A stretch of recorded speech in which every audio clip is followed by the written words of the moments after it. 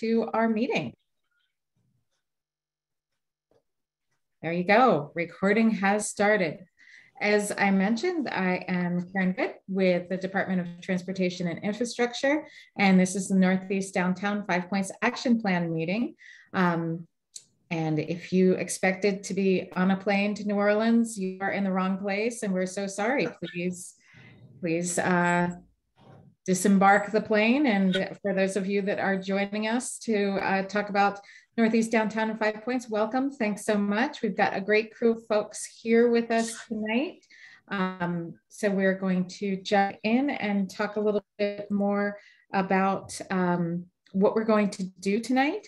For participation, we've put everyone on mute. It's not that we don't want to hear from you. We want to hear uh, lots from you. We will pause periodically for questions and discussions. So please um, wait for those moments to speak. And if you have something that you really need to share with the group or get out before you forget it, that's what the chat is for. Pop that in. Um, as you know, the meeting is being recorded. The chat gets recorded as well. We'll be monitoring that and I'll work to bring up those questions in the Q&A if you don't. And um, if there's something that we can answer through the chat, we'll do that prior to hitting the Q&A. So just wanted to let folks know that that's how we're that's how we're set up for this meeting and want to jump into a little bit more. Um, as I said, I'm Karen Good. We also have Brett Boncori and Riley Lemie here. We'll, we'll be tag teaming so you don't get too bored of any of us. Um, keep you on your toes keep switching it up and keeping you entertained. That's uh, that's what we're here for to entertain you, keep you informed, and ideally give you an opportunity to inform us as well. This is a working meeting, and uh, we'll be we'll be trying to get a lot of input from you, not just not necessarily just during this meeting, but after this meeting. So with that, we're going to jump in a little bit more into a little bit more detail of what we're covering tonight. Obviously, uh, we're so happy that you're here. Um, we're, we're welcoming you now and we'll jump into the meeting purpose in just a second. Um, we'll go over our current and recent projects and that's when we'll have, uh, after we've presented that, we'll have our first opportunity for Q&A. Then we'll go through the action plan prioritization process and then jump into letting you know how you provide your input on the prioritization and have a Q&A there. And then we'll wrap up with the next steps and our timeline. So Riley is the master of our slides here. I do want to introduce a very special guest, and that is Elbra Wedgeworth. Many of you know her. Um, her fame runs far and wide, and she's going to uh, say a few words. So, with that, Elbra. Thank you, Karen. That's very kind of you. Uh, good evening, everyone. My name is Elbra Wedgeworth, and I am so pleased to welcome you to attend the community meeting tonight. And I wish to thank all of the community members for being here, as we know your time is very valuable. Special thanks to those who have been involved in this point and we greatly appreciate all of the input that the team has received. The five points and Northeast downtown neighborhoods are important to all of us. The planning efforts that have already been done in these neighborhoods, along with the historic designation efforts, which many of you are familiar with, are ongoing legacy for our community. This, I feel, along with you, is a magnificent opportunity to actually implement infrastructure and to invest in the cultural renaissance in Five Points and to have all the partners at the table to help make that decision. As you'll see tonight from the following presentation, we together will have both short-term and long-term investment in Five Points in Northeast downtown neighborhoods. And we'll make this a reality. I know a lot of us have been waiting for this for a long time, and I really feel that this team will be able to make that happen. So let us know if you have any questions leading up to tonight and uh, whether you want to think about it and also get back with us in, uh, in the future, please do. This is an open process and we do want to respect and encourage your input. So thank you very much. And again, thank you for being here and I'll turn it back over to Karen. Thanks so much, Elbra, and thank you so much for being engaged in this process. It's been really wonderful and amazing to work with you again. Elbra and I um, share a long history at the city, um, and um, so wonderful to work together again. So, uh, again, we're going to dive into a little bit of uh, more detail on the purpose. As uh, Elbra mentioned, Five Points Northeast Downtown Action Plan is really critical and a, a priority from our mayor. And it's we're really creating a multi-year phased infrastructure investment program here in the neighborhood. Uh, this is a partnership between the Department of Transportation and Infrastructure as well as the Economic Development Office. Um, this is an important, we find a lot of opportunity when we partner between departments to really find a bit more energy and a bit more excitement about projects and, and with that also a bit more funding often. So we have a bit more horsepower behind things. So that's very exciting. Um, we've been working collaboratively internally to the city and have been reaching out to the community. And this is the opportunity to get your input on how to prioritize existing city funds to move forward with additional infrastructure improvements in the neighborhood and Riley's doing his magic here. Uh, where we're talking about, this is where many of you live, work, and play. This is informed by the Northeast Downtown Neighborhood Next Step Study from 2015. It takes the five points uh, statistical neighborhood and expands it just a couple blocks um, there to the east, if you will. So uh, extending to Lafayette and just getting a little bit uh, beyond the, the, statistical neighborhood boundary. Um, and many of you I know were involved in that next step study, so are familiar with conversation around that, but it's really to capture the, both sides of the Downing corridor and just off of it so that you get that energy from the corridor and the context. The um, other plans that this has come through, some of you know that um, I uh, hate to look at the year, but in 2007 worked on the Curtis Park neighborhood assessment. Um, and so it's really wonderful to be back here and continuing to realize some of the visions that were laid out in that neighborhood assessment, as well as 38th and Blake Station area plan. Uh, as I mentioned, the um, Northeast Downtown Neighborhood Study, uh, which was 2011, and then the next steps piece of that study, which was 2015. Uh, many of you were more recently engaged in the NTMP um, action plan from 2019. We're going to go over some of the elements of that a little bit later, and the Denver Moves Downtown plan from 2021. So this is an effort to pull together all the ideas from all of these different plans that we're building upon each other already and look at how we can pull out the things that have been done already, celebrate those, and then consolidate and coordinate efforts and moving forward and prioritizing under this Northeast Downtown and Five Points Action Plan. And with that, uh, current and recent projects, I'm going to hand the mic, if you will, to Brett. And I will, as I said, I will keep monitoring the chat and we'll work to get you ready for the Q&A coming up. Great, thanks, Karen. Um, like Karen said, my name is Brett Boncore. I'm, I'm with the Department of Transportation Infrastructure and the Transportation Design Group. And so, as Karen noted, I just we just wanted to give a quick overview of the projects that have already been completed in the Five Points and Northeast downtown neighborhoods. Um, as as she mentioned, there's been a ton of studies and plans that have recommended projects all over this area. So while this isn't necessarily the main subject of our meeting tonight, we just wanted to give an overview of those that either have been installed or will be installed very soon and have a life of their own. Um, so what you're seeing here are just a few examples of the work that's already been done to date. Many of us should be familiar with these, this infrastructure um, in the Five Points and Northeast downtown neighborhoods. Uh, you can read all these, but just to kind of call out a few, uh, we've, com we've completed a couple um, one-way to two-way conversions in the neighborhood. Uh, most notably, you have Blake Street and Walnut Street, which uh, we've converted um, to two-way between Broadway and Downing. Um, also here, we're calling out uh, 40 operational and safety projects that have already been installed as a result of the five points NTMP action plan that Karen mentioned earlier. These projects are smaller projects, but still significant. They range from new all-way stops to new crosswalks to improved visibility at intersections and some signal timing adjustments and things like that. Those have already been completed. And again, there's over about 40 of those.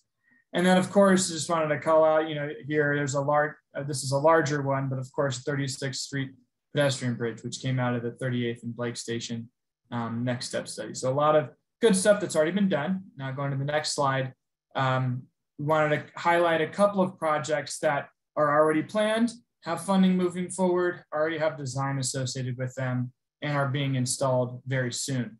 Um, all these projects that I'll be talking about that are coming at the end of like this year uh, came out of our five points as well, the Neighborhood Transportation Management Program. Sorry, didn't uh, didn't didn't define that previously. And so these things uh, include things like, uh, the, the, these projects include things like painted bulb outs along both um, Stout and Champa Street, uh, pedestrian flashing signals. We also call those um, rectangular rapid flashing beacons or, or RRFBs. Uh, another example would be back and angled parking along Curtis Park and Mestizo Curtis Park to increase new parking spaces and to slow down vehicular traffic on that particular block. Um, the next slide um, in addition, um, the NTMP also recommended two other projects that are particularly along the Welton Street corridor that will be implemented later this year and we wanted to highlight. Um, the first up top is an expanded pedestrian plaza at the Five Points intersection. So this is at the intersection of Welton Street, 27th Street, 26th Ave, and Washington Street. This is the heart of Five Points. And what this will look to do is reallocate some of that current pavement space to be additional pedestrian space, really expanding the plaza that's already there uh, with paint and post. Um, and what this does is, is it's, yes, it's a safety project. It decreases pedestrian crossing distances, looking to slow down vehicular traffic, turn, both turning movements and through movements in this area. And it will provide space for a street mural and actually art uh, and additional opportunities for community activation and placemaking. And so we're actually in the, uh, the process right now of of, of procuring an artist to be able, through a selective process, to be able to install this street mural that, um, you know, that that artist uh, is to be from the Five Points community or have a meaningful tie to the Five Points community. And the piece of art that we're looking to do would be a cultural, historic, historically significant piece of art that'd be installed in that street mural. And then in addition, kind of moving to the bottom of this slide, we'll also be installing um, paint and post bulb outs at select intersections along Welton Street. Um, these bulb outs are similar to those if you've seen, if you've been over in the Santa Fe Drive area recently, over in Alma Lincoln Park, as shown in this uh, kind of photo here. Um, much the same as the Five Points Plaza project, um, but on a smaller scale, these projects are, these bulb outs are intended to slow down traffic and proactively improve pedestrian, pedestrian safety at these four locations. And so having gone through kind of um, already completed projects and, and some that are coming soon. I'm gonna go ahead and pass it off to Karen to field any additional questions that we've had in the chat. If there are any, Karen, do you wanna go ahead and read some out if there are any? Absolutely. Really, all we have so far in the chat, and I shouldn't say all we have, but what we have so far in the chat is not a question, but a uh, note about excitement that the uh, some of the, the point Plaza work is on the imminent completion list. So that's wonderful. Um, and I am just, I've, if you see me looking down, that's because I'm looking down at my double zoom screen here, I'm looking down at my phone. And if somebody else would like to uh, ask a question, please raise your hand or put something in chat so that we can unmute you and give you an opportunity to ask a question. And I am looking down the list. And if you're on camera, I can't see everyone all at once, but if you're on camera and you feel the need to wave frantically, um, I can look for that as well. Uh, it looks like, is it Walisha? Uh, we will get you unmuted. Yes. And uh, let me know if I am pronouncing your name correctly. Yes, you did. Thank you for doing yeah. that. Mess it up. Great. Well, just jump in with your question. well, the questions I have to this project, and it was kind of introduced to me earlier this year, more or less on the scale of the mural and Mhm. the significance of what it was going to represent. Uh, after further review of your last meeting notes back in July, what this looks like to me is that with the pedestrian uh, safety study of putting a, a point plaza, you're going to cut off 26 in Clarkson going to Welton. That now puts in jeopardy one business, uh, the courtesy auto. Then with this initiative, it's also going to cut off access to the last original business that still stands in the community, and that's uh, Franklin's Barbershop. So, where would this be more uh, beneficial to those uh, individuals? And are they going to have to just close up? And the reason I ask that with the close up, um, this is hard to talk about. Number one, I am a descendant of Zona Moore. Uh, start there. 11 years ago, I stood in the midst of what used to be and no longer is. And here we are presented with a project. Number one, there's the pros and the cons of it. And the pros of it would be to highlight uh, you know, a community that no longer stands, but also made Denver what it is. Uh, as a citizen, I every day I'm watching it being torn from what it used to be. Uh, Denver has always had a beautiful light from the north side to Park Hill to the south side downtown. I have an array of friends I've never lived somewhere else that wasn't so diverse and so accepting. I have lived in another state and it wasn't so accepting of me. So I came home. I've been back 16 years. Uh, but it just doesn't sound like it's going to preserve what is still there. And Well- I'm just trying to figure out is that the the goal here and is it permanent that this is going forward Well, those are all, there was a lot packed up in, in, i'm sorry no, you're perfect. You're utterly perfect. So I'm gonna hand it to Brett, but I'm gonna give um, a couple highlights. And I'm gonna look to you on camera to see if I got it right. You have some questions about the design of the plaza and what will be happening at 26 and Clarkson. So Brett can talk to you a little bit and some other folks popped in some questions on the chat about that as well. So we'll go into detail of what the design is doing and not doing.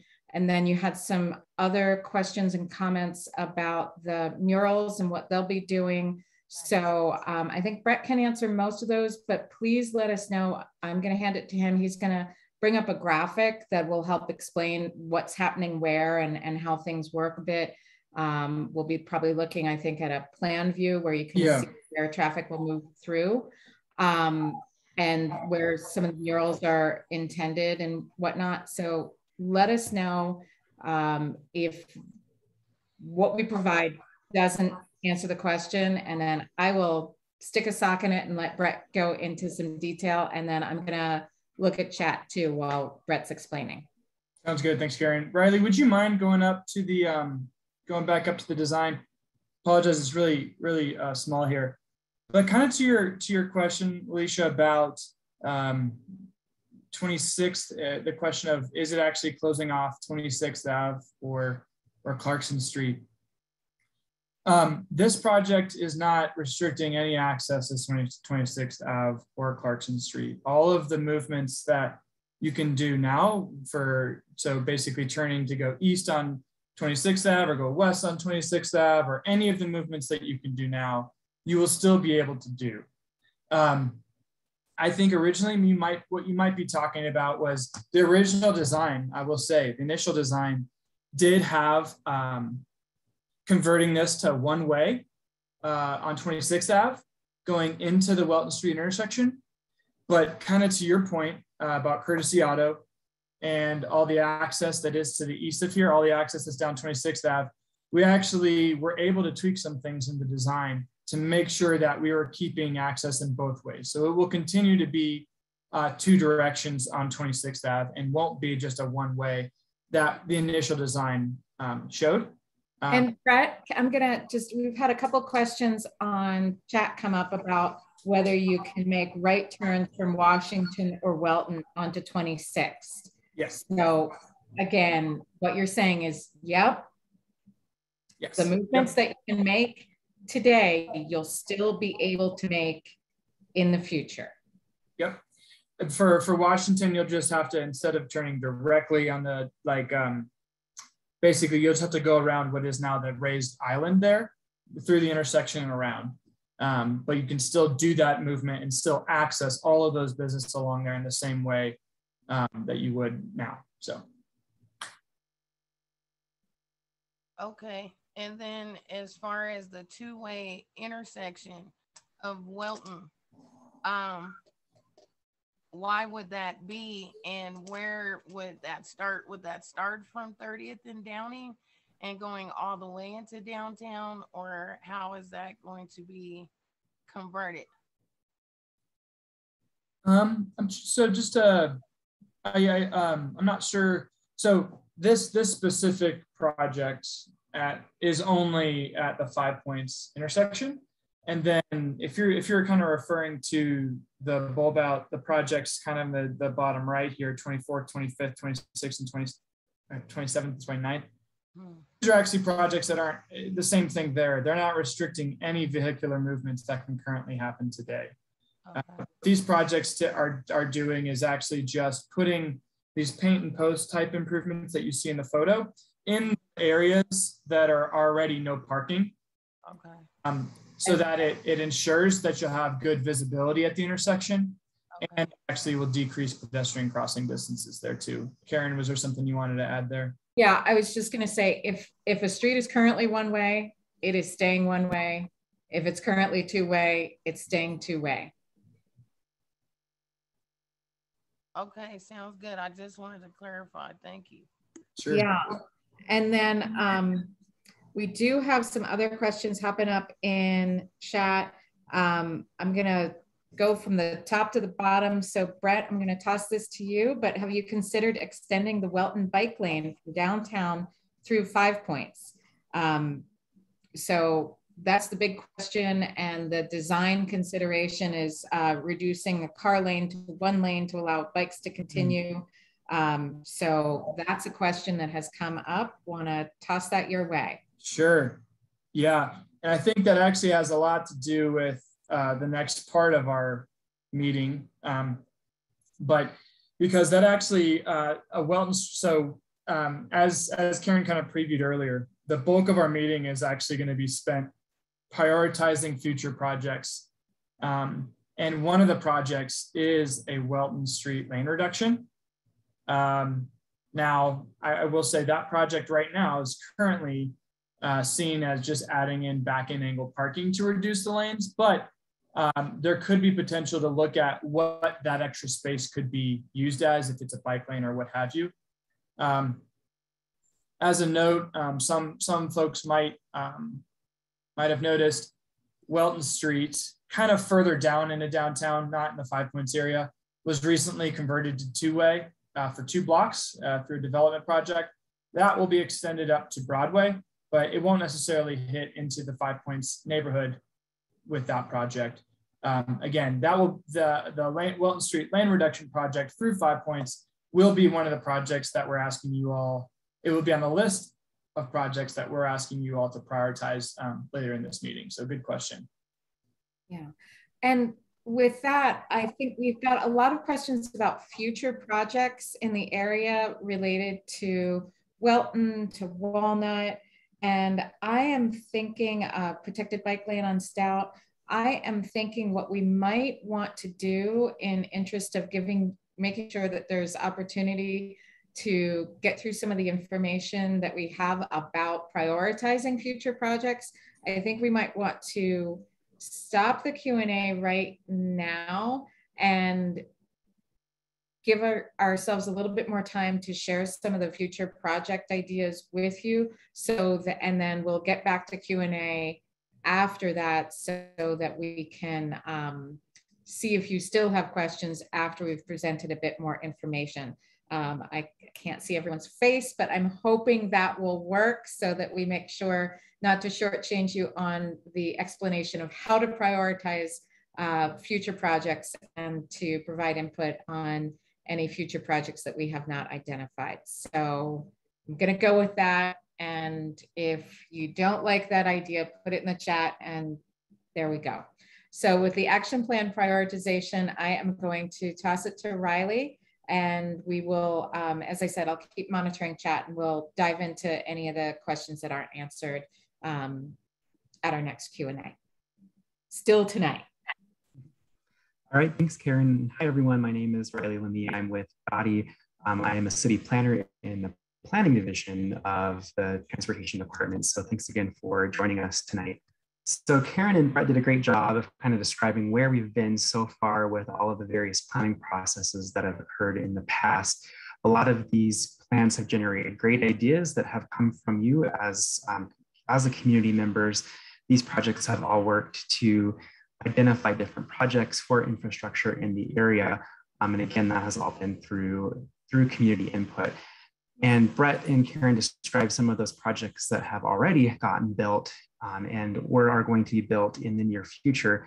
And where we're at now is looking at where, how do we move forward next? So in other words, what is the next round or the next phase of projects that the city should be moving forward with, um, both in the near term as well as in the long term. And so that's really what we want to hear from you tonight and why we need your input is to help us be able to prioritize those projects.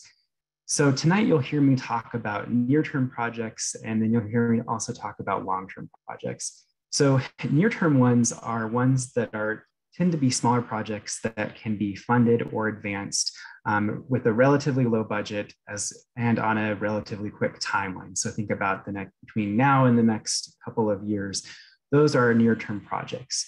Um, and we also happen to have, thanks to our partnership between DOTI and the Denver Office of Economic Development, or DEDO for short, we have an opportunity that has provided us with a little bit of funding to continue to or start thinking about how we're moving forward with those next round of near-term projects. Longer term projects are ones that we don't quite have the funding for and are more complex and are going to take us more time to get the funding. But, but it is important that through this process, we establish from you as the community what are how, how we should be advancing these or what should we start with first. And so in other words, hearing from you, what what is the most important? What are what are your priorities for us to be moving forward with? So I'm going to start talking about kind of just give some examples of some near-term projects. And so as I mentioned before, these are, again, projects that can be funded and advanced over the next two years. Um, but we don't have funding usually at any one point to be able to do everything that's on this map. So that the, the map that you're seeing here shows some examples of near-term projects that were recommended from all of those previous plans and community efforts that we've talked about uh, before so that's why we need your help telling us which ones that you think are the most important or the ones that we should be moving forward with first. And I'll walk through some examples of what a near-term project will look like in just a minute. But you can see on the map that I have on the screen, um, it's just kind of showing how these projects are spread out. Um, and some examples of them are doing crossing improvements at Broadway, which is something that was identified from the Denver Moves Downtown Plan, and something that we've been hearing a lot from the community is, is something that they would like to see as a priority, but also additional improvements on Welton Street, such as planting new street trees or adding new infrastructure that really helps uh, to add landscaping to the street. There's also um, public art that you not don't see displayed on the map, but the opportunity to think about how can we add um, public art or pedestrian wayfinding that makes it easier to navigate the neighborhood. So those are the kinds of things that typically are lower cost for us to be able to do that we could move forward with on a near-term basis. So just an example of um, a project I mentioned, crossing improvements at Broadway. This is an example of something that we could do potentially over the next two years uh, by designing and constructing with lower cost materials and would be done with the intention of making Broadway feel more comfortable and safe to cross. So things that we could do are adding um, curb extensions, or you'll sometimes hear us call them bulb outs. It's sort of the, the engineering term for those things, um, but that are designed to slow down vehicles and make it so that it is uh, safer and more comfortable to cross the street. And you may also see us or recommend uh, median islands, which do the same thing. They work to slow down traffic, provide a safer place to cross, and shorten the distance that pedestrians have to cross the street. So again, this is an example of a, a near-term project. And in just a minute, I'll kind of, I'll be showing you the map that shows all of those projects and what they look like.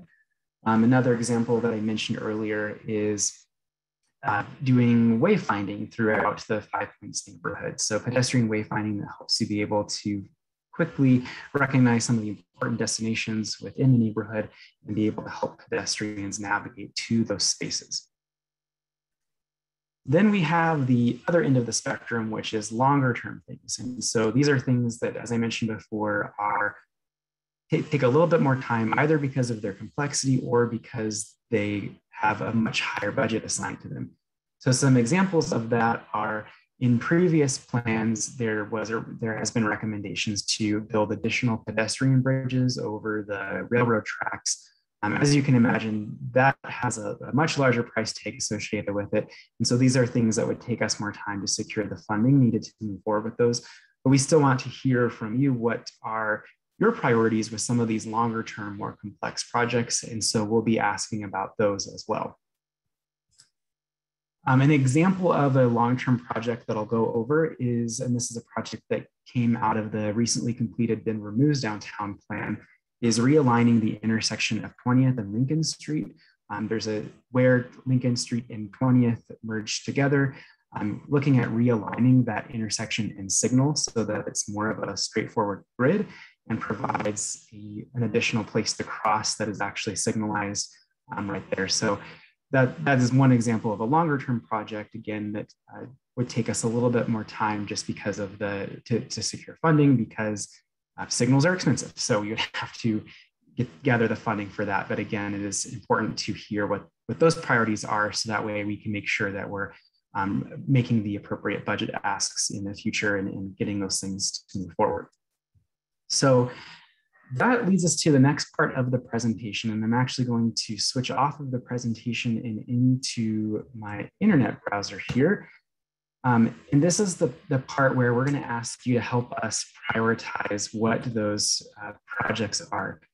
Um, and actually, before I do that, let me, let me go back to where I was. Um, so in this in just a moment, we're going to be going to something that is called the uh, is called social pinpoint. And that's a special tool that we're going to be using to um, to help us be able to hear from you about how we should prioritize these projects.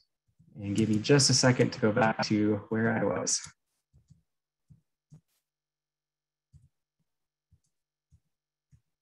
All right, apologies for that. So this website, and we'll, we'll put this in the chat so that everyone can access it. But in just a moment, I'll be walking you through or kind of demonstrating how to use this tool. This is a, a, a special tool that will help us or help actually will be for you to tell us how we should be prioritizing these projects. And so this will help us to hear from you. Um, and the website for that is bit.ly forward slash NEDFP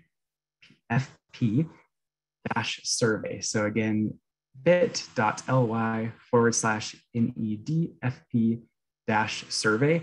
And that is a tool that we'll be demonstrating in just a moment that, uh, again, is how you'll be telling us how these projects should be prioritized. So when you first open that page um, on in a, in a, separate window on an internet browser, You'll notice that there are a lot of projects that are listed on that website that all have different letters associated with them. If you click on one of those letters, and so you can see on my screen how I, there's a B, an I, a C.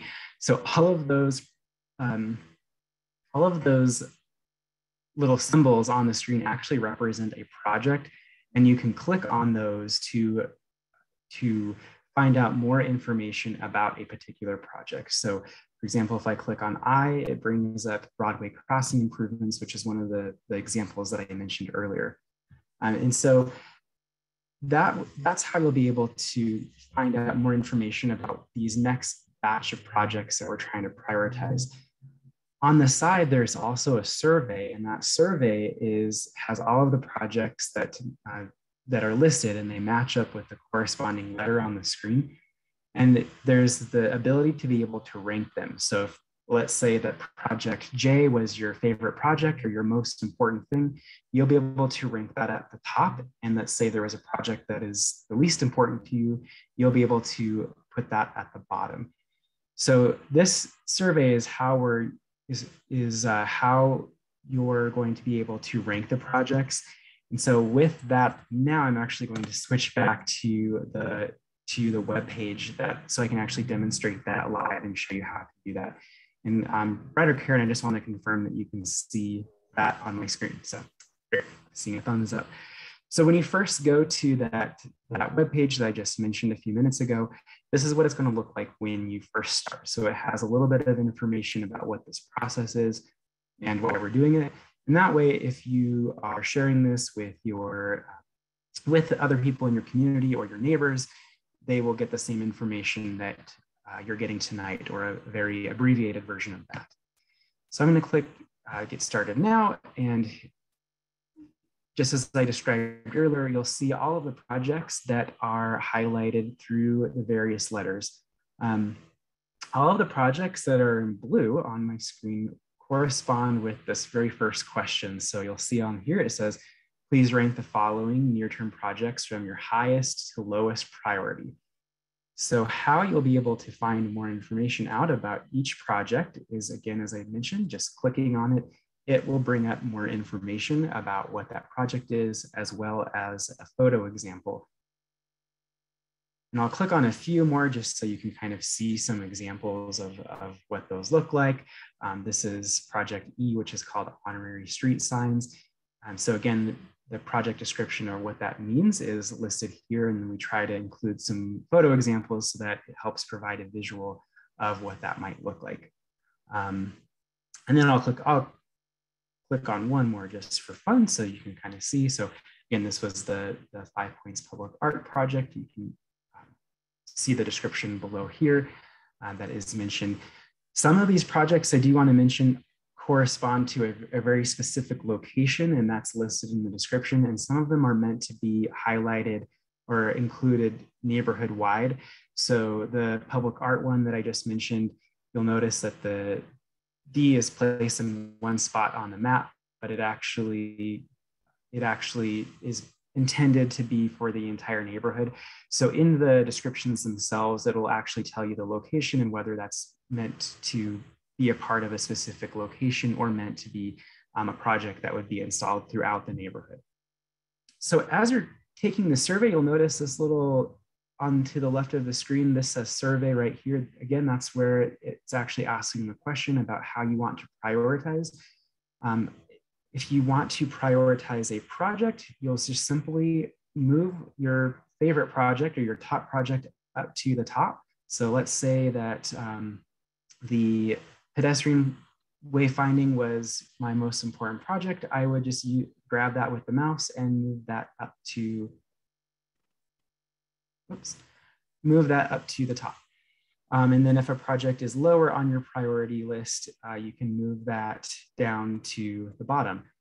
Um, and what that's going to do is tell us from the community's perspective which projects are the most important and which ones are uh, kind of the, or the least prioritized.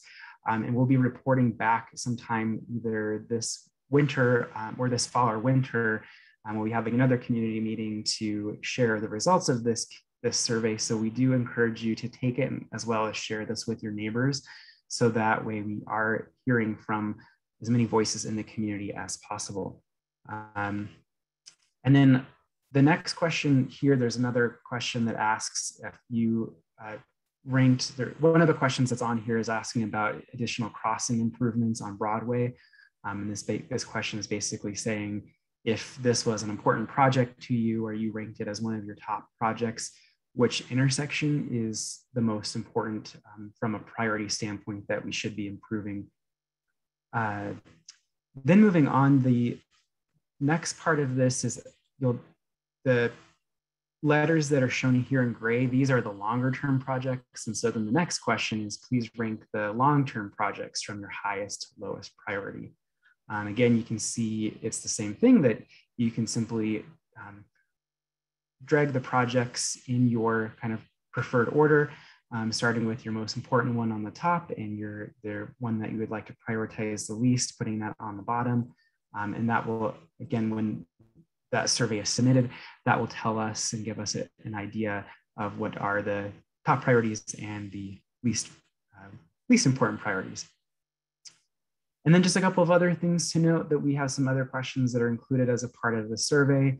Um, you'll also have the opportunity to provide your email in case you have uh, additional questions.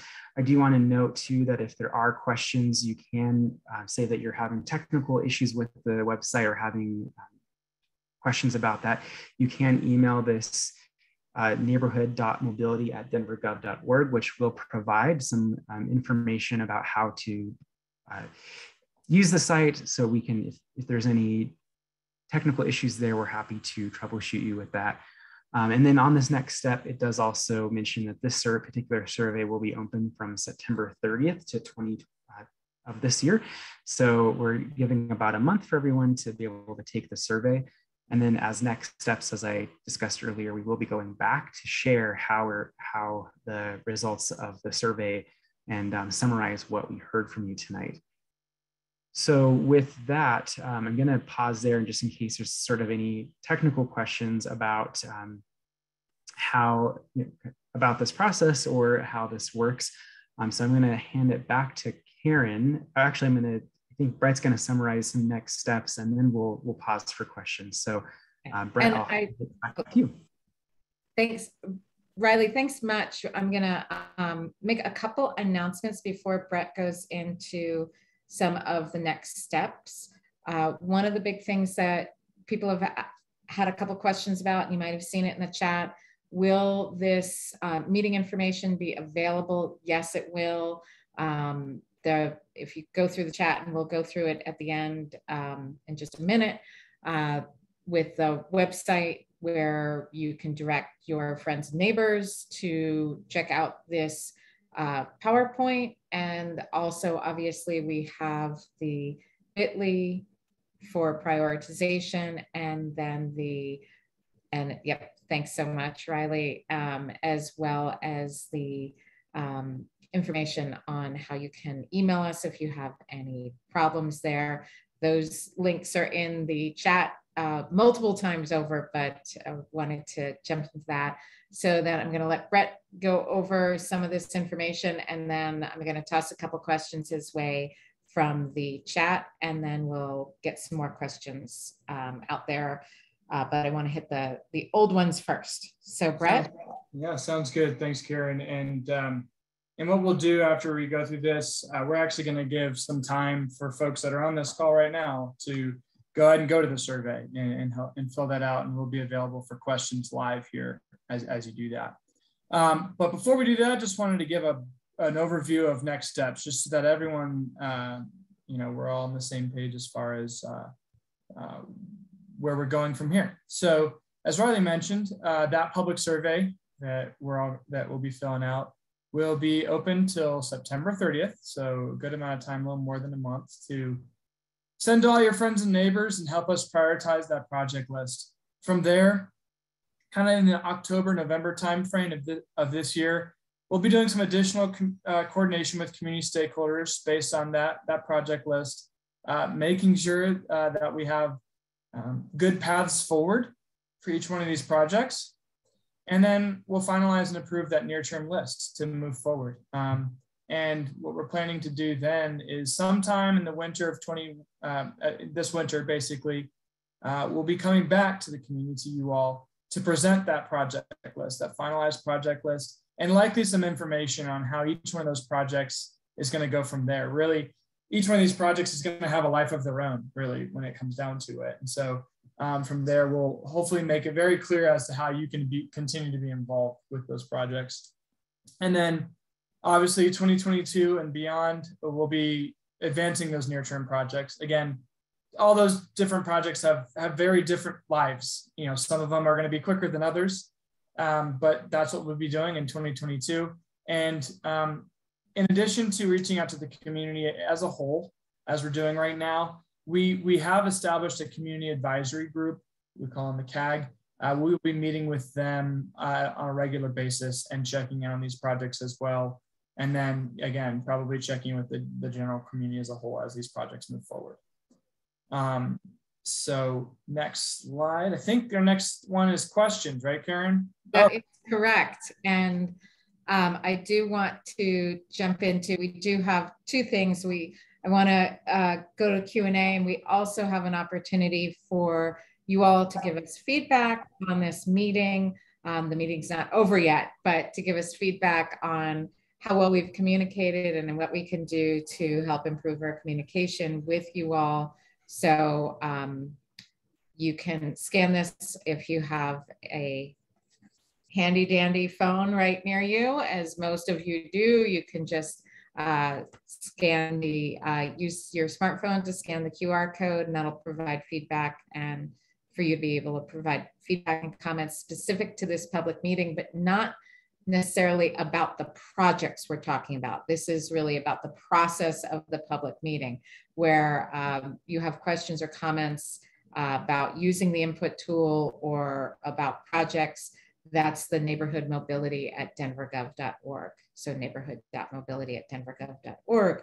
Um, with that, I want to jump into, we can leave that up, right? Actually, because nobody needs to see the Q&A slide. We'll leave this up so you can uh, provide um, you can do your scanning for the QR code and have that, uh, make sure you jot down or take a picture of that email for neighborhood mobility, uh, neighborhood.mobility at denvergov.org. What we really want to dive into is going through um, some of the questions that were asked. I'm going to go back to one that was uh, here prior uh, in our first round of Q&A and that's from Joel with questions about these shorter term improvements and how they uh, will work or not work with some of the longer term vision elements. So Brett, I am once again going to toss that to you. Sure. Yeah, and I and I and I do think um, it sounds like some of the chat um, has somewhat answered these questions, but we'll answer here too. So, um, so yeah, really the long-term vision on Welton is, a, is a long-term vision. And so um, as you'll see, one of the near-term projects is to study the long-term vision on Welton Street. Um, but the implementation of that is quite far off depending on what it is, if it's a two-way conversion or things like that. So we don't want to necessarily wait for those things to happen in order to do improvements on Welton Street if there are things that we can do in the near term. And so to answer your question, these near-term improvements that were that were suggest that that are um, up for prioritization in the near-term list, they wouldn't preclude necessarily that longer-term vision um, from coming through uh, if if the study is chosen to to move forward on that long-term vision, if that makes sense. Joel, I do see your hand up. Maybe um, maybe it sounds like maybe you might want to elaborate on your question a little bit, um, Michelle. If you can yeah, uh, thank you. I, I, think you do understand my my question. Thank you for your answer. Um, I, I, am concerned though. I think I think some small changes like uh, bulb outs, um, lane width reduction, um, etc., especially if it speaks to safety, pedestrian crossing, etc. Absolutely, uh, minor investments make a difference now. Uh, the back in angled parking and uh, and that kind of thing is seems to be the kind of thing that um, once done, re- reconceptualizes people's use of that space, gets them used to parking as a priority and having abundant parking in a way that just sets the stage for more controversy uh, when exploring the vision that's already been outlined in adopted plans. So that's specifically my concern. And and that back in angled parking is not in any adopted plan. It was uh, it was something that was apparently brought up by by some number of people in the NTMP uh, process um, and and jotted down and and said, you know, we received this idea from the public, but um, it's not an idea with much tenure. Thank you. Well, I really appreciate that um, context there, Joel. Um, and I think, yeah, really appreciate that context. I think uh, that's something really important for us to consider. Uh, if we if the, if we do end up moving forward with a longer term vision corridor study, it may or may not make as much sense to considerably change Welton Street in the near term. So no, I appreciate that. And Brett, I'm going to circle back. We've had a number of questions in chat about the Walnut Street conversion hmm. that, you know, from a positive standpoint, and we've had a lot of questions through the council office and through neighbors over the past couple months that Brett has um, been helping with as well. So I want to just lay out folks asking about can we, you know, it slowed traffic down, but with the development, it's really hard to cross for pedestrians. Can we put in some more stops, some stop signs, four-way stops, and then that kind of hinges to need for study of four-way stops throughout the neighborhood, which I think ties into NTMP. So let's hit Walnut first with timeline for what we're currently doing that's part of the Walnut two-way conversion and then jump into the throughout the neighborhood question. Sounds good. Yeah, great question on Walnut. So, um, yeah, so as, as folks know, Walnut was converted to two-way last September. Um, we uh, and, and at that time we didn't install we didn't install any additional traffic control along Walnut Street, and that was intentional. Um, what we like to see is after we would like to see, we like to see traffic patterns settle in after the two-way conversion and then it allows us to study the corridor and see really where these uh, traffic control and crosswalks and all that type of stuff should go. Uh, you'll be happy to know we are actually at the tail end of, of that evaluation um, and actually taking a lot of the input that we received during the Walnut Street study about where traffic control should be. I believe Ty, you're involved with that uh, quite heavily and a few others on the call here. And so we're actually taking a lot of those comments in addition to actual traffic data analysis now that traffic patterns have settled down, especially due to COVID, our, our, our, schedule did get delayed a little bit. We wanted to make sure that we had normal volumes and normal traffic patterns. But that is moving forward. And, and we, we do have a number of all-way stops um, and crosswalks proposed for Walnut Street. And um, Karen and I actually are working on um, we need to have a feedback loop with with with with a few folks in the area to to to report out on that specific project um, about what the the results of those findings were. Um, so that's coming soon. Coming soon. And um, we'll make we'll be circling back with the council office and then getting that in the council newsletter and using some of our other resources um, to get that out to the community. So um, we've got a lot of uh, mailing lists and email lists. So we'll get that out to folks once we have that squared away and, and ready to go. So more, more soon. Thanks, Brett. Um, and do you want to jump into that larger conversation of four-way stops and throughout the neighborhood now how that relates to the NTMP? Sure. Yeah. So a lot of the NTMP and Morgan, we see your hand too. So we'll, we'll, we'll get there. Um, a lot of the NTMP projects, like we mentioned, a couple of them were all-way stops. Those NTMP studies, evaluations um, occurred a few years ago now, and we implemented, like I mentioned, over 40 of those kind of operational and safety type projects. We are just now at the point where we're open to like re- evaluating more uh, all-way stop requests. You know, enough time has passed since those evaluations with NTMP that um, we are looking through our regular 311 area engineer efforts um, a little more freshly now that those 40 projects are in, they've been in for a minute. And um, so if if there is any specific requests on those smaller type operational and safety projects like all-way stops like like crosswalks signing and striping type things um, the the normal the normal um, channel of 311 is your best bet uh, for for getting those things installed and evaluated and installed so. or pocket gov you don't have or to pocket call. gov yes you can always just pop it in on your phone through pocket gov um, i use pocket gov um, I, I, work in the Department of Transportation and Infrastructure, and I use Pocket Gov.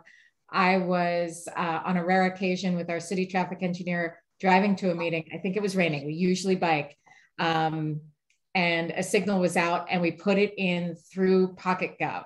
You know, we don't call somebody; we put it in the same way we ask uh, our community members to. So, just FYI. Um, so we have a uh, Morgan, I think, had a uh, sounds like maybe some follow up to the Walnut Street questions because uh, I wasn't seeing it, but I heard Brett say, Morgan, that your hand was up. Do you have more uh, questions there? Hey, yes. Hi, everyone. I'm Morgan. Um, I work for Edens where um, we work in the neighborhood. Um, and just to get some clarity, so the reason why so this is already in motion. So that's why it's not a part of the survey is that is that so it's it's already being worked on. There's really no point in having a survey because it's it's moving forward. It's just a matter of getting a few yeah. You're, you're referring to Walnut, right? Yes. Yeah, yeah, yes. We, we, we could have listed that as one of those projects that's already moving forward. That's not really the subject of this meeting. That okay. has its own already, has funding, has everything. That project is already moving forward. And okay. to be clear, that was part of the original Walnut Street. That's part of the work we do when we do a one way to two way conversion. There are things that happen after that conversion, as Brett said, where we wait, wait for traffic to normalize. And that, yes, exactly as you said, that's why it's not here because it's part of our process. Hey, okay. Brett, sorry to jump in. Um, it's John at the RiNo BID. Um, Morgan, this I've been having some conversations with Tom at Edens um, I think, Brett, you owe us a date for a catch up on the locations of those um, stop signs. So please do drop me a line whenever suits and let's get that scheduled. Absolutely. Yep. That's what I was referring to. Uh, awesome. Work with you. Cool. Thanks. Okay. And um, we've got some questions. I think we've hit the four-way stop questions, just scrolling through a little bit. Um, I would love, I know, Joel, you've got your hand up. I'm just trying to make sure that folks that haven't had a chance to speak have had an opportunity before we circle back. Um, I think we've hit everything related to Walnut. Um, somebody had a note that the stop signs added during the Major League Baseball All Star game were helpful and should be brought back. Um, that's something that Brett, I don't know if you have a specific response to that or if that's something that we want to say, you know, that's your opportunity to use Pocket Gov or, or 311 as we normally would. And I believe that that is also specific to Walnut. I'm okay. Um, because there was some all-way stops that replaced that Walnut in 27th, I believe, uh, that created that intersection into an all-way stop. Um, so yeah, I think that's that's along with that Walnut Street discussion. Yeah. So if it's Walnut, please hold on putting a 311 or a we've we've got that. But if it's for another location, Sam, please do uh, let us know. So with that, I'm just going to do a quick scroll through uh, for any hands up and then circle back to you, Joel. Oh, I'm sorry. Walisha does have her hand up. Um, so uh, we'll we'll hit Joel and then Alicia if that works. Yep. Great. And uh, Michelle will unmute you, or you can unmute yourself now, I believe, Joel. Unless that is a stale hand. Oh, uh, no, I thought you said somebody else was going first. It's uh, dinner table rules. Everyone gets first before anyone gets seconds. Uh, Walisha already went, so. Uh, okay. Uh, so, so, the couple things. Um, first, I didn't notice um, the projects identified in the 38th and Blake next step study that we're straightening out and rationalizing a lot of the funny intersections from Curtis Park touching Downing. Is that because they're already all in progress or are some of those still pending? Um, and then secondly, um, I didn't see, and I, I, brought this up in the chat earlier, the completion of the protected bike lane that that terminates suddenly at 26th on Stout. And I'm wondering if that is um, kind of implicitly in a Stout two-way discussion. Thanks. Great. So Brett, do you want to jump in? Yeah, I, I, might jump in on the Stout question, Karen. I think you might I might need your help on the uh, 38th and Blake question. Um, so yeah, on the we'll tackle the second one first. Um, uh, the Stout Street, yeah. So if we do a two-way conversion on on Stout Street, we would have the opportunity to relook at the type of facility bike bikeway facility that's on Stout. Um, I think we can rest assured that there will be a bikeway facility continuing on Stout, even if there is a two-way conversion. Um, point that two-way uh, conversion will allow us to uh, relook at that. Um, one great because because it is it is wide enough to imagine a Broadway style two-way cycle track. And if we're looking at changes on Champa where there's already a bike lane, um, let, us think big about a cycle track on, on Stout because it's just an embarrassment of width to work with. Sure, sure. And I will add on on the Stout Street conversion. Um, what you'll see in the what you'll see in the uh, survey is that uh, Stout is treated a little bit differently than the other two-way conversions. Stout does have um, design money um, to, to design a two-way conversion, and that project uh, will also be moving forward soon. Uh, what's in the what's in the survey right now for prioritization is do we want some of the existing current funds that we have to use to be put towards construction of that? Um, uh, construction of that design funds. If that's not the case, uh, future CIP funds will likely be pursued at some point in the future for that. So just a note on how stout is different than the other two-way conversions. Karen, um, do you think you can um, speak to Joel's question about 38th and Blake? So, I know 38th and Blake itself, um, the underpass, et cetera, as you well know, is a very long-term project, but it, I think you are asking specifically about the intersections uh, coming up from 38th and Blake along Downing. Um, and I, that's something I think we need to dive into a little bit more in terms of getting an answer for you as to you know what's included what's not included and why those aren't included but that's something that we can circle back with you on um, am I understanding your question correctly?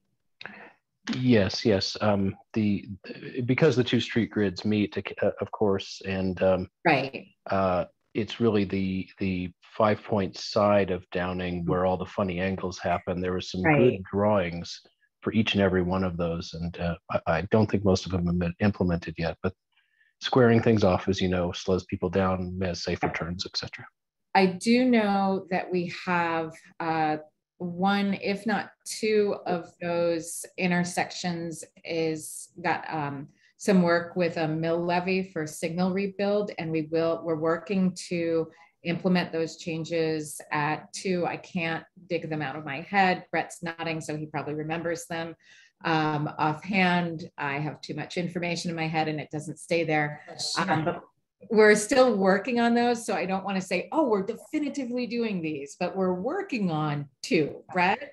Yeah, sure. So, I mean, going on down the line, Joel, so Downing and 37th Ave, there were some changes that were made there uh, that actually the developer helped to do to square off that intersection per kind of some of your comments there. Um, 35th and Lawrence, same thing. Um, there are, like Karen mentioned, um, a mill levy signal rebuild project, um, mill, specifically mill 26 happening along Downing, and that will be at Bruce Randolph in Downing. It will be. We're, we're playing around with one more to see if we can make it a little bit better. Bruce Randolph is the one I was thinking of, though, Brad. Yep. Um, yep. I feel like there's one more that we're trying to play around with. So they're, they're, what I'm hearing is they're, they're all intended, whether one project or another, or whatever another gets them done.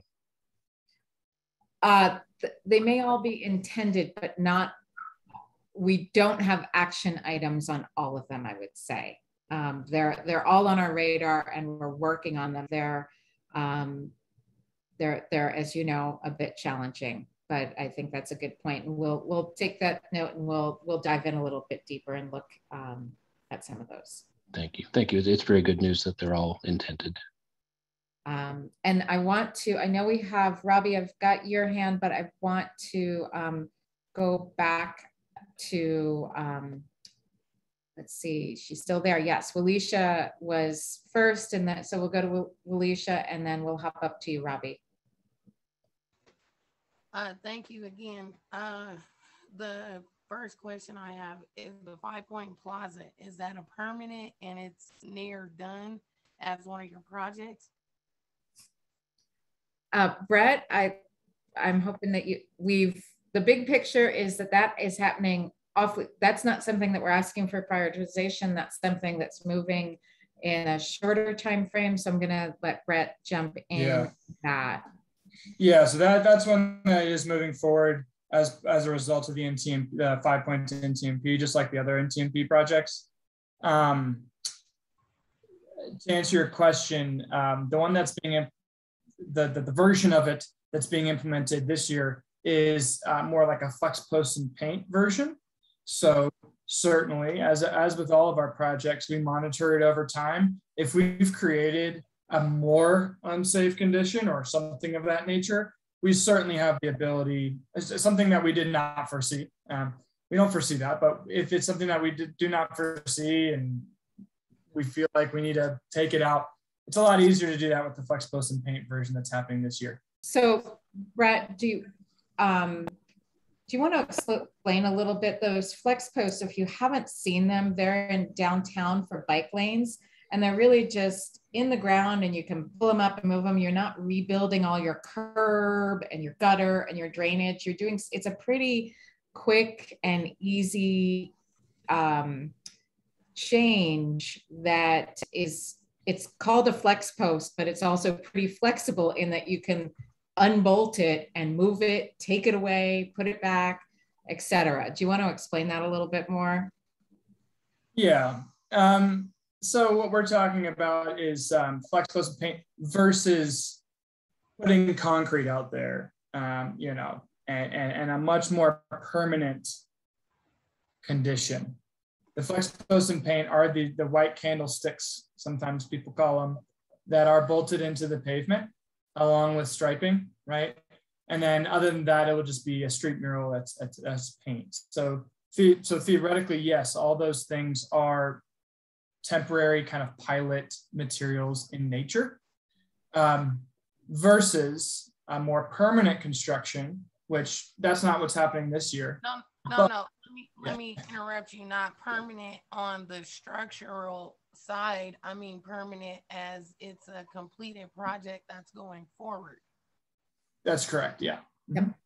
And so that's something that will continue to monitor, as Brett said, if, if something is, if we create a less desirable situation in terms of safety for pedestrians and folks uh, in their cars, we would either modify it, remove it. If it's something that really improves safety, we would look for opportunity to make that permanent with cur with moving the curb and you know creating that change in concrete that's something that takes a bit longer to implement and costs a bit more money, but that's something that we would have that continued conversation both with the community and in terms of getting data that helps us understand the benefits and challenges. Is that right, Brett? That's right. That's correct. Okay. Okay. And my other question is, uh, we're in a redistricting uh, they're re- they're they're rezoning. So all these near near uh, projects that you're implementing about, if you're not in the district anymore, say for instance, this remapping of the district does not include downtown and these near uh near term projects are being impl- I mean are they going to still go forward even with the redistricting of the zone I mean these are uh projections of things that are to come but they sound more like they're actually being moving forward Mhm. and how can this be moving forward on the near term projects if in this moment in time we're getting ready to change the district?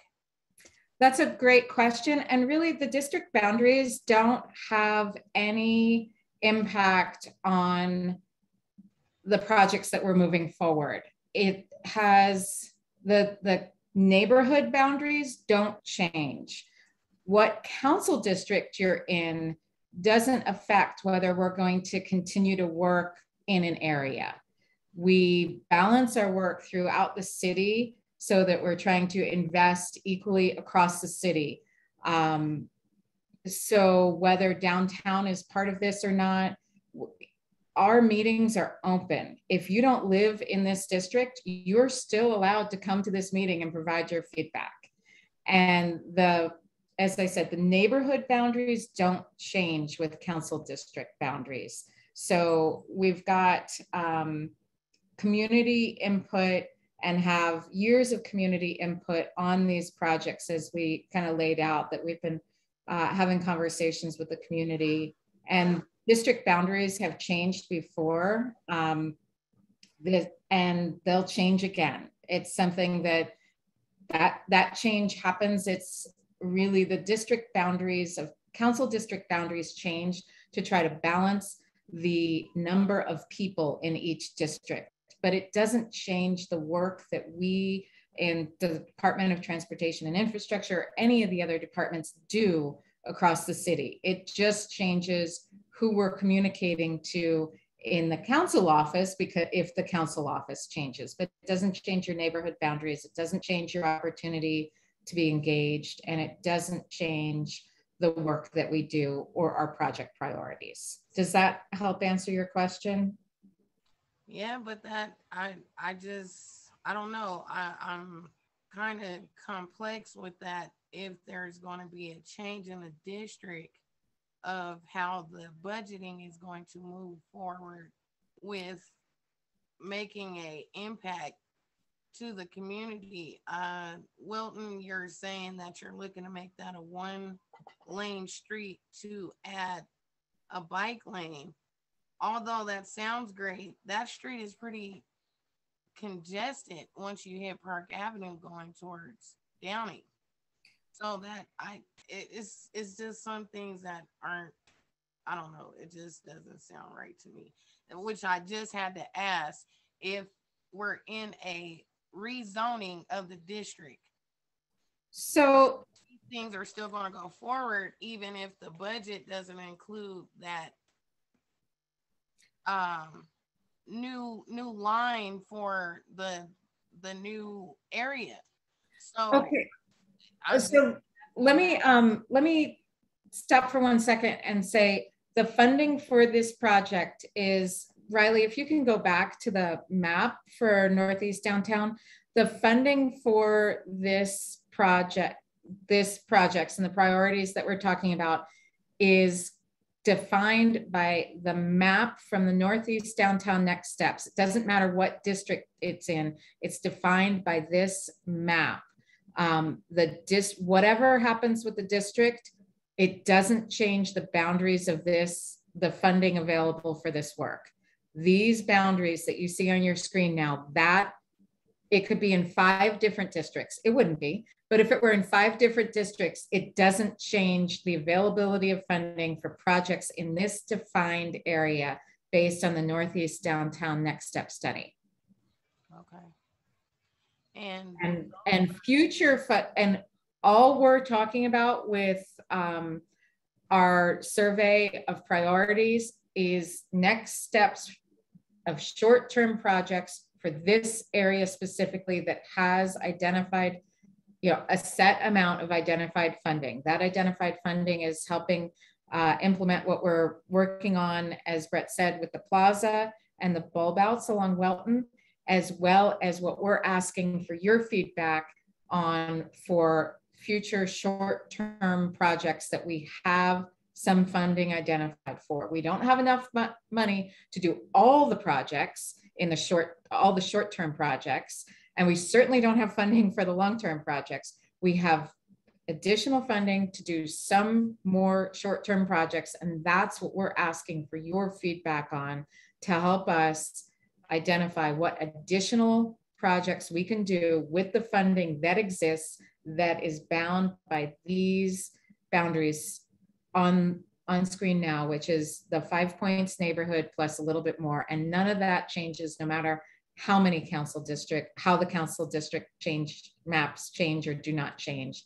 And just for clarity, there's no rezoning involved with the council district change. It's just the lines from a, a governmental standpoint of what council district areas are in. And it may or may not affect this um, specific area. We don't know, but regardless of it, the funding identified is set for this area, no matter what council district it's in. Okay, and then as far as, like you said, the plaza is up and moving, so that's more or less. Is that gonna be a sit down too, based on what you have from your last meeting in July? Uh, if there's a sit down area, is that gonna affect the, um, movement of RTD at all? Well, Alicia, hold on one second. Robbie has had her hand up for Oh, quite a while. I wanna, I wanna hop to Robbie and then we'll, we'll pop back to your question about how the plaza will, um, will change or will, if it will impact anything with RTD. So Robbie, I'm gonna give you the mic. And real And- quick, I do want to plug as well as we're as we're chatting here. Feel free to go to the survey and be filling it out um, as you as you're in the background here. We'll be here for questions. But sorry, go ahead, go ahead, Robbie. yeah, and, and actually, I'm Robbie's partner. I'm David. Um, but yes, I've got a question about uh, some of the long-term. Um, there's a 31st and 33rd Street bridge mentioned, right, for pedestrian and bicycle use. Just a quick question there. Um, do you know if those bridges would be designed to be a little bit more bicycle friendly? We've got some other bridges that are really because the the bridges would be really really helpful for both pedestrians and bikes. But I know the other one down at the art the uh, light rail station or the heavy rail station is um, it's an elevator, right? You know, if you want to, use um, which is makes it a little difficult for kind of routine use. So um, it's just a question if, if, if you know anything about kind of, is this a, a, Yeah. a roll up bridge or something like that? Thank you. So to be clear, future bridges at 31st or 33rd, um, and David, sorry, I've, you know, I've got to work with what I've got you with, uh, sorry for calling you Robbie there, but um, if you've seen some of the recent studies that said we need to prioritize our existing infrastructure, which is the 38th underpass and improving that. And so 31st or 33rd bridges are very, very long-term because um, we are we identified the need to focus on the 38th underpass and improving that first. Um, and that is a pretty massive project that's going to take a lot of resources and a vision for a future bridge is very high level at this point and if and when we move forward with those uh, it would we would have a full public process to discuss design uh, development and go through um, you know constraints and opportunities that allow for different access. But we're we're not in a space where we're talking about whether there's a bridge or an elevator, you know, if there's an elevator or a ramp or anything, because those are, are not currently projects. Um, fair beyond long-term vision. No, that's great. And yes, uh, from behalf of Robbie and David, we're sharing one computer here. So Oh, not your okay. fault. Not your fault. Thank you so much. No worries. And um, I know I've provided a pretty comprehensive email answer to somebody else. Yeah, I believe somebody else who had that question. If it was not you, um, shoot an email to me, karen.good at denvergov.org, and I will dig that up and shoot you the same response so you have the, the detail. But it's it's what I just said. Um, and I have not been looking at chat for a bit, so I'm gonna um, hand it to Brett uh, if he has been looking at um, at that, and then I'll take a minute to catch up on chat. Um, Brett, do you have anyone yeah. that you've seen? No, no worries. I think, um, you know, there was a couple clarifying questions about Stout Street. Uh, did, uh, from Paul, did I understand correctly that there is funding for the design work for a Stout Street two-way? Is that scheduled or in the works? Uh, I'll, short answer is it's in the works. We're currently assembling our design team um, that will be um, leading that design and public involvement effort.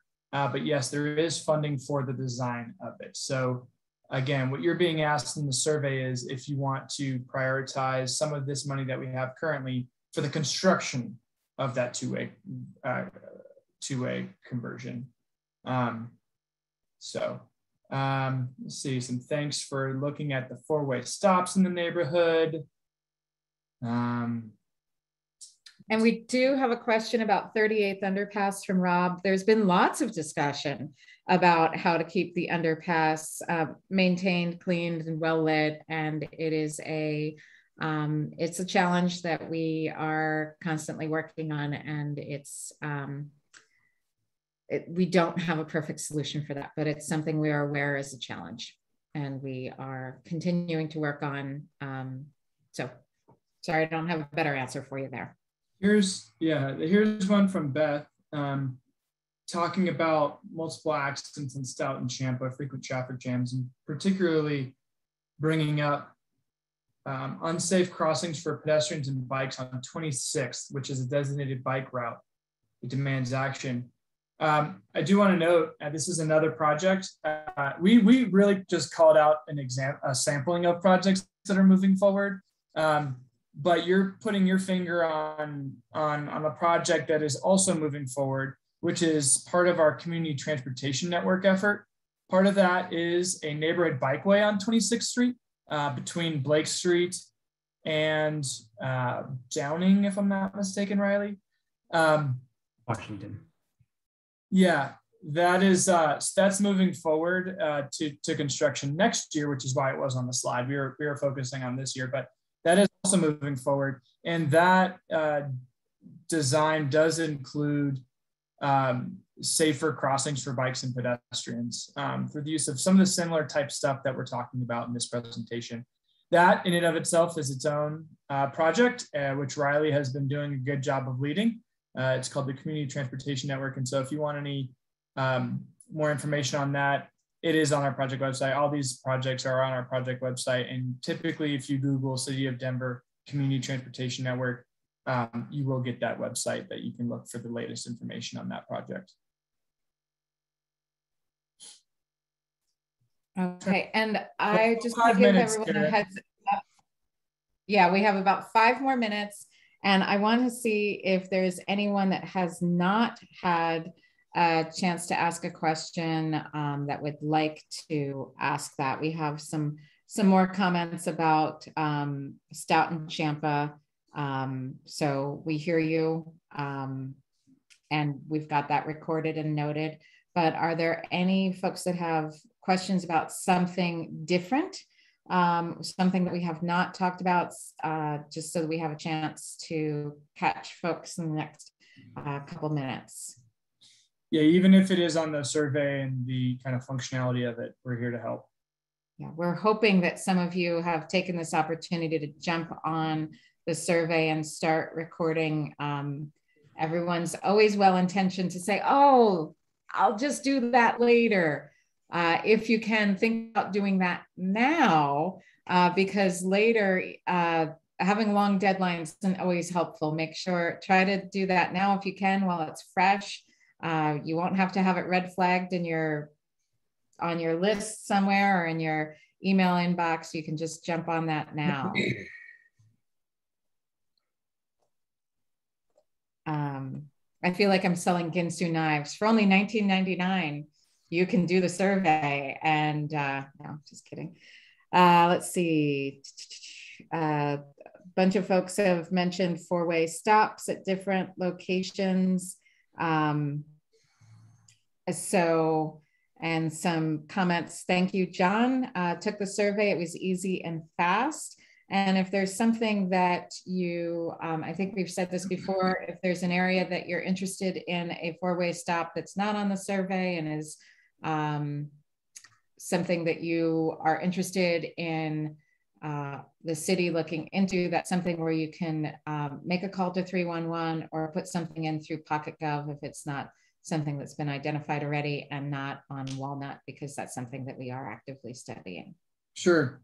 And Joel, Joel just um, mentioned a technical question, which we should probably address here. So um, yeah, on the survey, you don't need to rank all of those projects.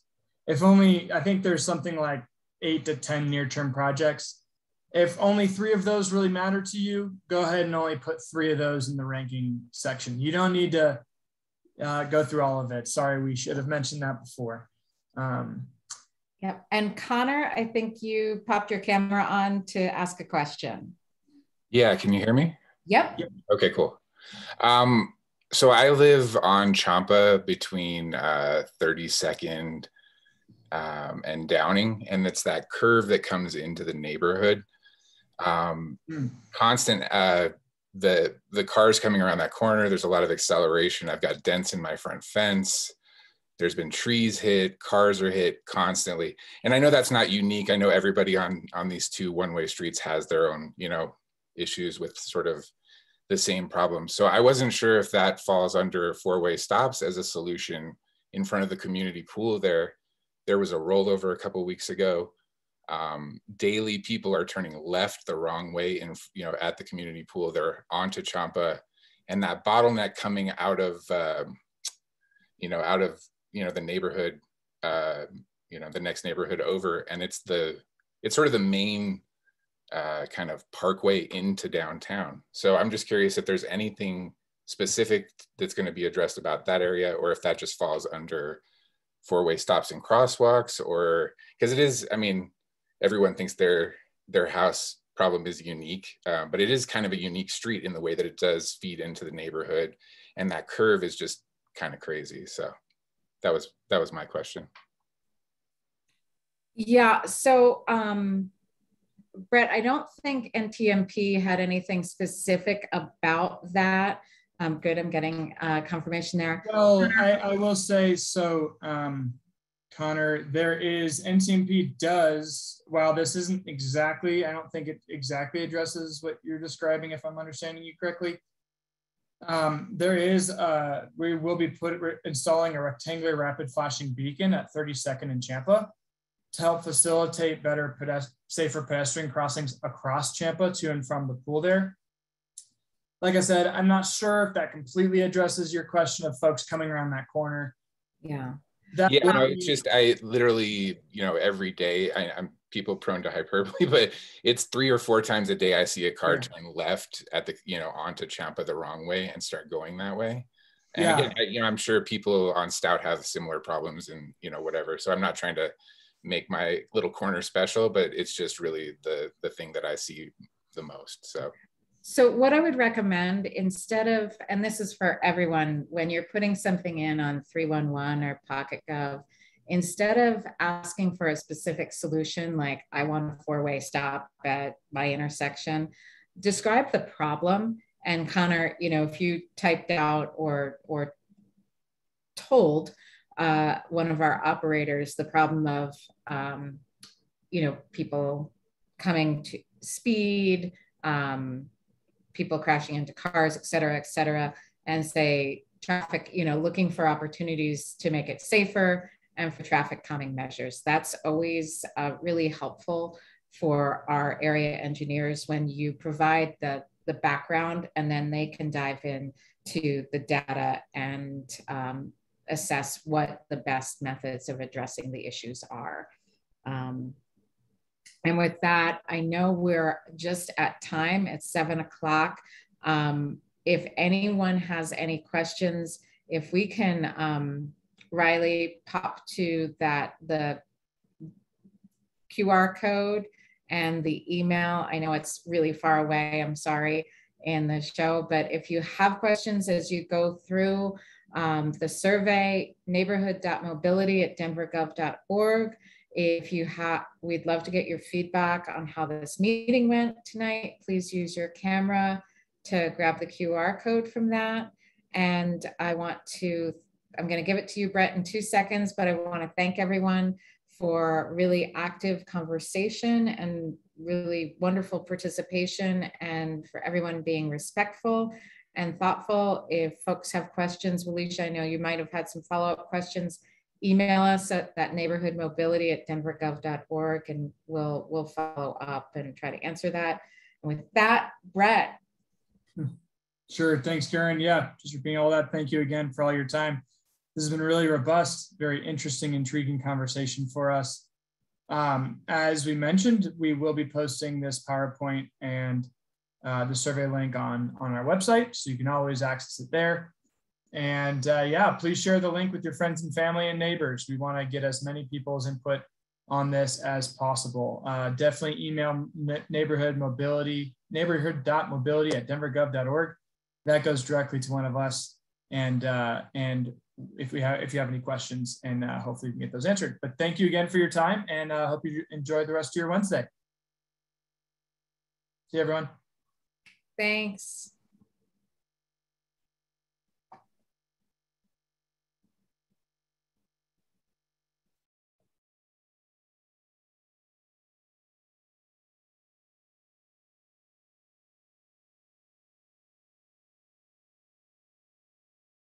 Hey, if you haven't uh, killed the meeting yet, remember to copy and paste the chat. I can't do it as a participant, but one of you facilitators might be able to. It might be helpful for helpful for you for later. I've already saved it. Yay, thank you. Thank you.